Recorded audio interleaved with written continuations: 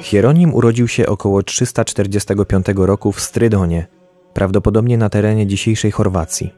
Był synem zamożnych ludzi pochodzenia rzymskiego, katolików.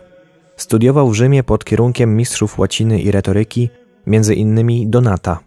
Tam w wieku młodzieńczym, zgodnie z ówczesnym zwyczajem, przyjął chrzest między 358 a 364 rokiem z rąk papieża świętego Liberiusza. Wówczas postanowił porzucić światowe życie i zająć się zagadnieniami religijnymi. Udał się następnie do Trewiru, ówczesnej stolicy cesarstwa, gdzie na życzenie rodziców miał rozpocząć karierę urzędniczą. Prawdopodobnie jednak podjął tam studia teologiczne. Z Galii powrócił do Włoch. W tym czasie jego siostra wstąpiła do klasztoru. Także i sam Hieronim został w Akwilei mnichem i około 373 roku wyjechał na wschód, by w Jerozolimie pracować naukowo i poddać się rygorystycznemu życiu.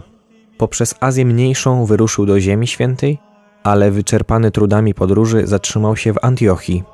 Znalazł się krok od śmierci. Po wyzdrowieniu zaczął intensywną naukę greki i języka hebrajskiego. Poświęcił się studiowaniu Pisma Świętego na pustyni chalcedyckiej. Po wyzdrowieniu zaczął intensywną naukę greki i języka hebrajskiego. Poświęcił się studiowaniu Pisma Świętego na pustyni chalcydyckiej.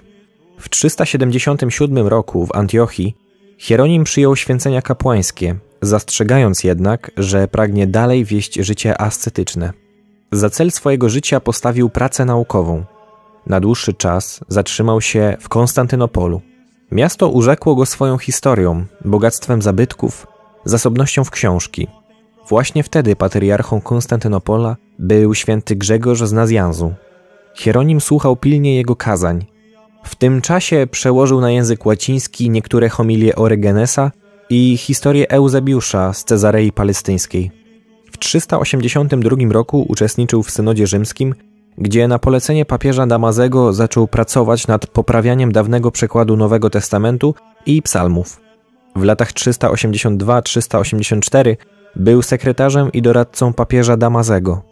Udał się następnie do Palestyny i w 386 roku zamieszkał w Betlejem.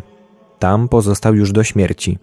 Organizował tam działalność charytatywną, prowadził wykłady, pod jego opieką powstały cztery klasztory. Odznaczał się encyklopedyczną wiedzą, umiłowaniem ascezy, pracowitością, gorącym przywiązaniem do Kościoła, czcią do Matki Bożej, a przede wszystkim umiłowaniem Pisma Świętego. Współcześni mu odnotowali jednak, że miał wybuchowy charakter. Pozostawił po sobie niebywale ogromną spuściznę literacką. Zwalczał współczesne mu herezje. Ostatnie lata spędził w grocie sąsiadującej z grotą Narodzenia Pana Jezusa. Zmarł osamotniony 30 września 419 lub 420 roku. Jego relikwie sprowadzono z czasem do Rzymu. Obecnie znajdują się w głównym ołtarzu Bazyliki Santa Maria Maggiore. Jest jednym z czterech wielkich doktorów Kościoła Zachodniego, patronem eremitów, biblistów, egzegetów, księgarzy i studentów. Módlmy się. Boże, Ty dałeś świętemu Hieronimowi żywe i głębokie umiłowanie Pisma Świętego. Spraw, aby Twój lud obficie karmił się Twoim słowem i znajdował w nim źródło życia przez naszego Pana Jezusa Chrystusa, Twojego Syna, który z Tobą żyje i króluje w jedności Ducha Świętego. Bóg przez wszystkie wieki wieków. Amen.